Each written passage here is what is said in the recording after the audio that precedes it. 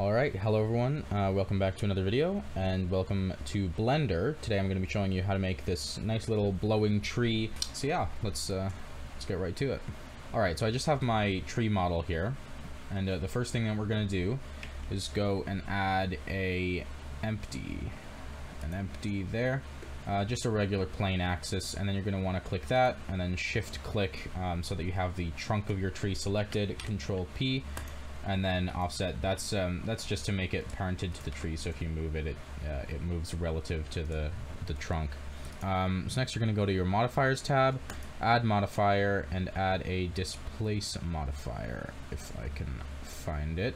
Ah, there it is. So once you find it and you've assigned it, you're just going to click new, rename your texture to something like TX uh, texture tree wave or something like that uh, and change the coordinates to object. Click a little eyedropper and select the empty. Um, Alright, so that's the first part done. Now we have to actually make the texture. So you're going to go to the Textures tab, change this one to Wood, and um, that's basically just a wave, uh, a nice wave texture, and then select Band's Noise. Uh, next, you're going to want to drag the size up to something like 0.75, uh, the turbulence, I would recommend putting down a little bit, depending on the size. Um, yeah, you know what? 5 is, is good for here. Um, and then we need to actually animate it, which is surprisingly easy, and you actually don't have to use the timeline at all. Uh, what you're going to do is you're going to click on your empty.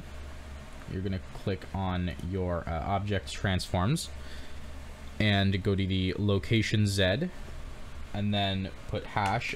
So um, what we're going to be doing is we're going to be deriving this from the keyframes. So we're just going to put frame, uh, and then that would be way too fast. Uh, we don't want it to be going one meter up, you know, 24 times a second.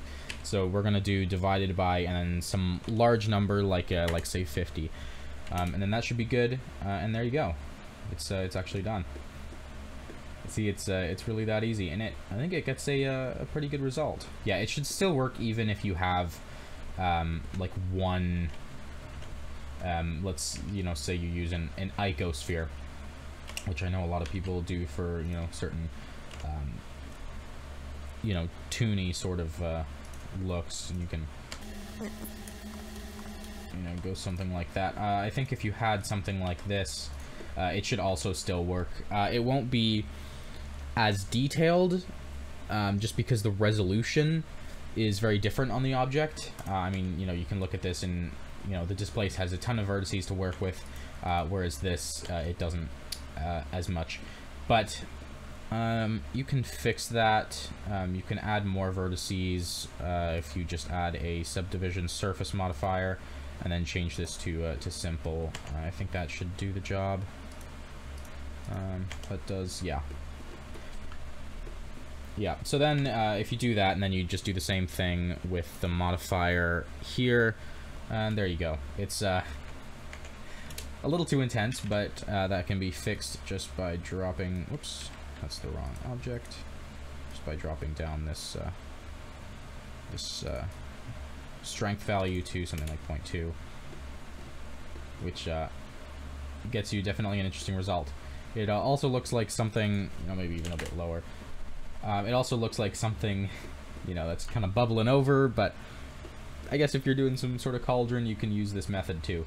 So yeah, if you uh, enjoy the video, please leave a like and subscribe if you want some more content like this, uh, or some content that is completely different. I do a bunch of stuff on the channel.